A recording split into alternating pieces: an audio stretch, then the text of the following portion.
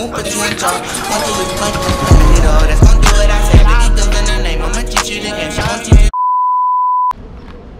is up guys? Welcome back to a brand new video. Welcome if you're new. Before we start today's video off, I have a very special request from you guys. So if you're new to my channel or if you've seen five, ten of my videos and you haven't already, please hit that subscribe button. If you're a scooter rider or you enjoy scooter content, scooter riders always talk about supporting rider-owned businesses. That being said, why not support riders that are trying to make a business or a career out of their riding? So it'd be greatly appreciated if you could hit the subscribe button. I've been working extremely hard to maintain this channel on top of work, school, and just life. So if I was actually able to make it a job for myself, it would be a lot easier to keep putting out these videos for you guys. Like I was saying, subscribing and liking this video will really help me grow my channel. And if I can make a career or a job out of scootering, then I'll have the time to keep putting out videos for you guys. So today we are at my middle school. This is a park that I haven't been to in a few years, and I definitely haven't rode here in even more years. It's not far from my house, and I grew up riding here. Have so many memories in this park, summer, winter, just riding with the homies. I'll give you guys a little bit of a tour of what spots are over here. So my favorite part about this whole spot is this tiny little ledge right here. This ledge was always a bit of a problem for me because I'm used to coming at it this way and this wall is right here. It's a brick wall kind of messing up your landing. It's like an 11 stair back there that I've never hit. There's like a small mani pad kind of thing over here and then a four stair in the back and then pretty nice flat ground space over here.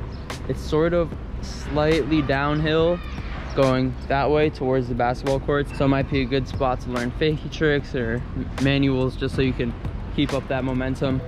And there's also a little bench over there. I don't know if you can see it. So for now, I just got here.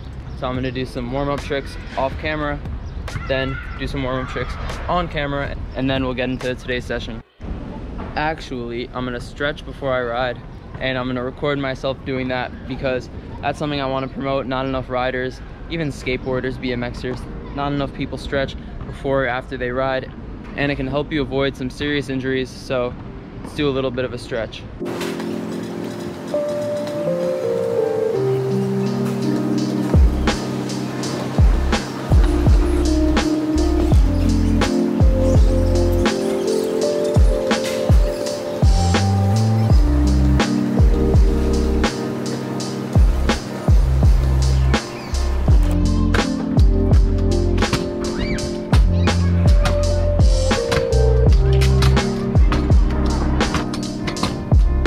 Now that we warmed up a little bit on flat, let's set up the tripod by this ledge. Let's see. I think we can do this angle for now.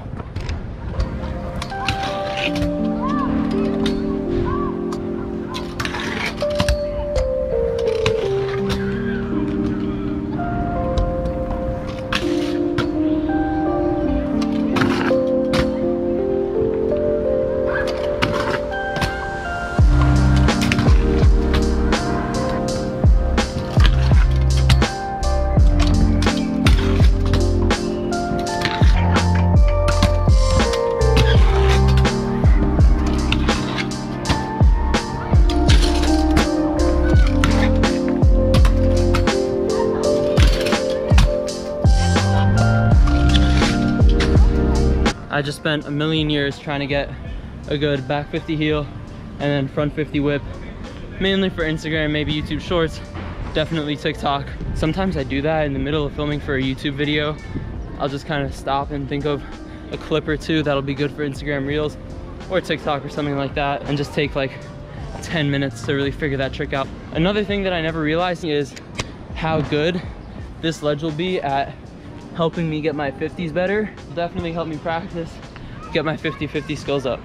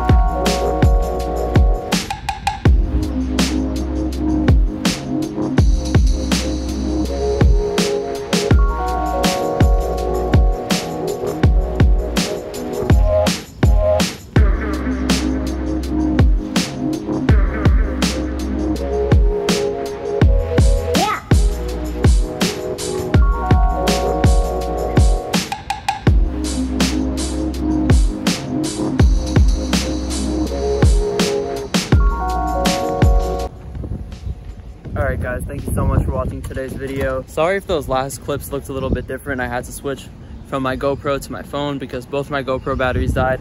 As I said earlier, it would mean the world to me if you could subscribe to my channel, like this video, leave a comment.